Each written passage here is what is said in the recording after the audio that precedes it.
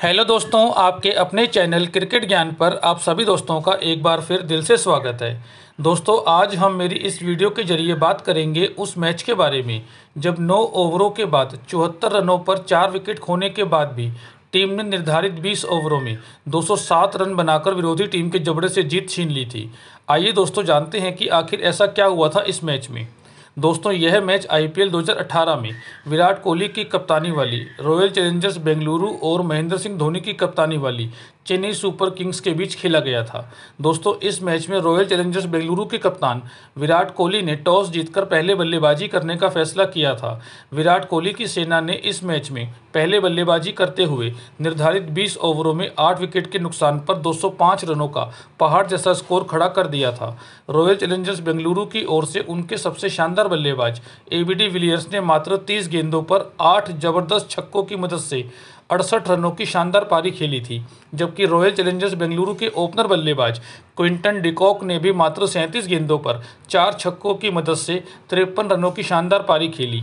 इन दोनों बल्लेबाजों के दम पर रॉयल चैलेंजर्स बेंगलुरु निर्धारित 20 ओवरों में 205 रन बनाने में सफल रही।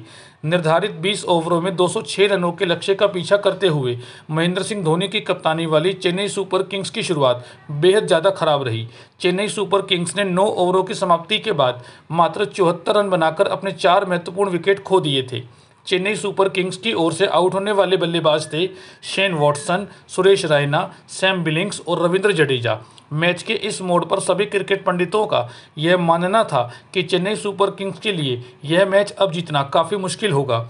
अब यहाँ से चेन्नई सुपर किंग्स को 11 ओवरों में जीत के लिए 132 रन बनाने थे। चेन्नई सुपर किंग्स की ओर से नंबर छः पर बल्लेबाजी करने आए उनके कप्तान महेंद्र सिंह धोनी। यहाँ से अंबाती रायडू और महेंद्र सिंह धोनी ने पाँचवें विकेट के लिए मात्र तिरपन गेंदों पर 101 रन जोड़ दिए, लेकिन अचानक तिरपन गेंदों पर आठ छक्कों की मदद से बयासी रन बनाने के बाद अंबाती रायडू रनआउट हो गए।